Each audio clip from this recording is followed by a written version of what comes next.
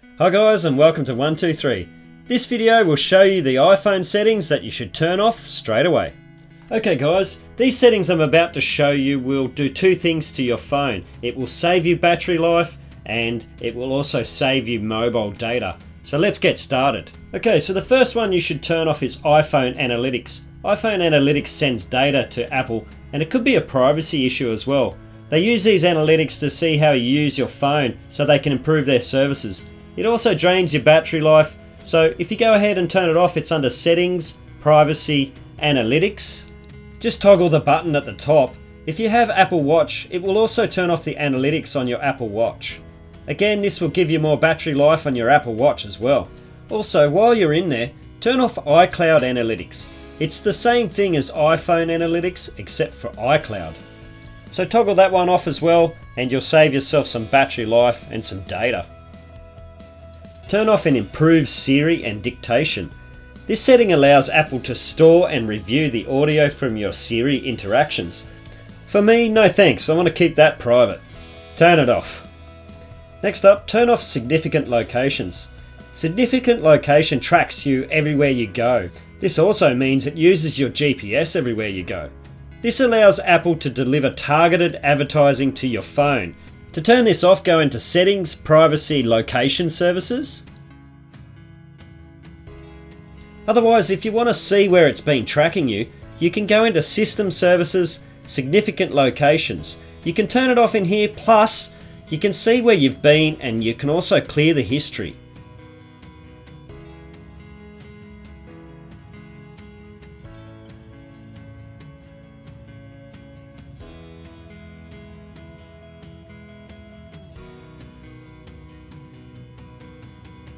Turn off everything in system services that is unnecessary.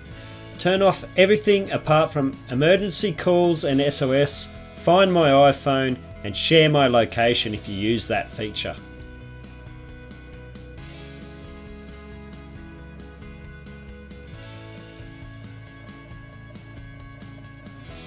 If suddenly something does not work, you can come back in here and double check it. Otherwise, just turn them off. It will save your battery life and data.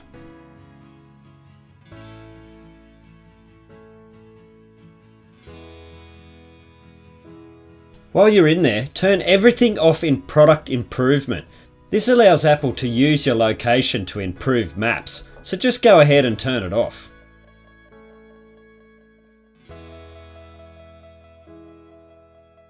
Next up, you want to turn on limit ad tracking. This is one where the naming might be a little bit confusing. If you don't have this toggled on, then you are being tracked when you go from website to website. This is set up so that advertisers can advertise to you. You can turn this on under privacy and then advertising. If you want to see the information that is being used by Apple, tap the view ad information menu.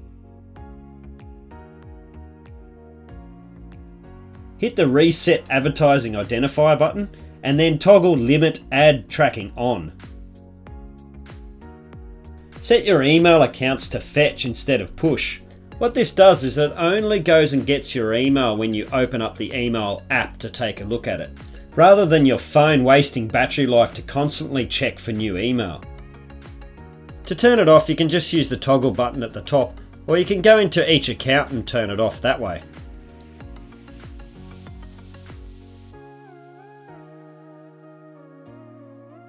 You can also select how often you want to fetch your mail.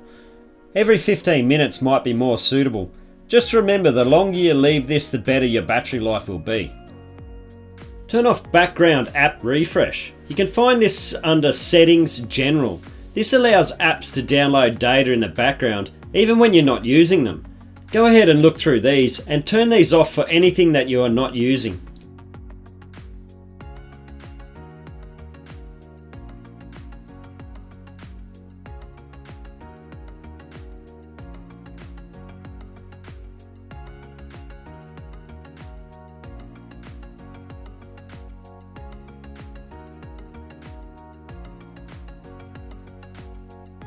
Raise to wake. Turn this off to save battery life. And you will find this under settings, display and brightness.